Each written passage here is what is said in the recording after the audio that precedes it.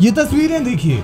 पिछले 24 घंटों में आपने ये तस्वीरें कई बार देखी होंगी। इन तस्वीरों में आपने देखा होगा कि कैसे घायलों को अस्पताल ले जाया जा रहा है। आपने देखा होगा कि घटनास्थल पर कैसे प्रशासनिक अधिकारियों और आम नागरिकों का तांता लगा हुआ है। उत्तर प्रदेश के गोंडा ज़िले में कुछ घंटों पहले भारी चीख पुकार मची थी। चारों ओर हाहाकार मचा हुआ था। रेस्क्यू ऑपरेशन चल रहा था। रेलवे के अधिकारी घटनास्थल का मुआयना कर रहे थे। अधिकारियों समेत उत्तर प्रदेश और केंद्र सरकार के मंत्री घटना का अपडेट ले रहे थे और घटना के बारे में बता रहे थे। वो लोग जिन्होंने इस हादसे को बेहद करीब से देखा, जो लोग ट्रेन में थे और हादसे का शिकार हो गए थे, अस्पताल में घायला अवस्था में वो लोग भी अपनी आँखों देखी, बयां कर रहे थे। यानी कुल मिलाकर हादसे में जो कुछ भी हुआ, वो सब आपने अब तक देख लिया होगा। लेकिन अब ये तस्वीर देखिए। इन तस्वीरों में आप देख सकते हैं कि रेलवे ट्रैक को ठीक किया जा रहा है। साथ ही कुछ लोग मालगाड़ी के ऊपर चढ़े हैं और ठीक हुए ट्रैक के ऊपर मालगाड़ी को गुजारने की तैयारी कर रहे हैं। और थोड़ी ही देर बाद ठीक हो चुके रेलवे ट्रैक पर मालगाड़ी भी गुजरने लगती है।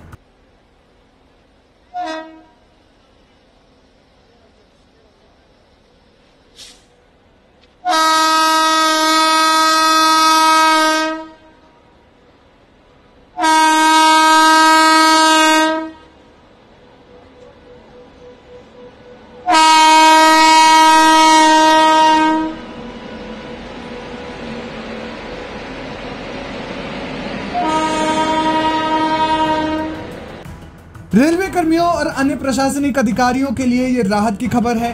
इस मामले में पास के गाँव के रहने वाले कुछ लोगों ने भी घटनास्थल का सूरत हाल बताया। आपको बता दें कि घटनास्थल से घायलों को अस्पताल पहुँचाने में स्थानीय लोगों ने भी मदद की। यहाँ की स्थिति मतलब बहुत गंभीर हो गई थी जब ट्रेन पलटी थी तब।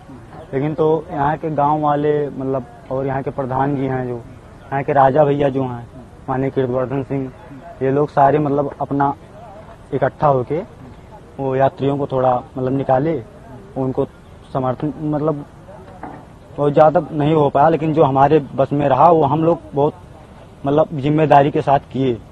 और हमारा आशा हमारा भगवान से ही निवेदन है कि मतलब ये जल्दी जो घायल हुए हैं उनको जल्दी ठीक हो जाएँ।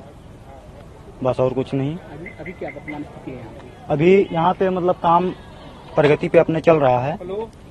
बाकी रवाना की जी? ट्रेनें रवाना की गई हाँ? मतलब मैं देखा हूँ एक दो ट्रेन गई है इधर उधर वो मालगाड़ी भी गई है और सवारी तो नहीं देखा लेकिन मालगाड़ी देखा हूँ मैं गई है। कुल मिलाकर स्थिति सामान्य हो रही है। मालगाड़ी के चलने से पहले जेसीबी और हैवी मशीनों के ज़रिए ट्रेन की बिखरी बोगियों को ले जाया गया।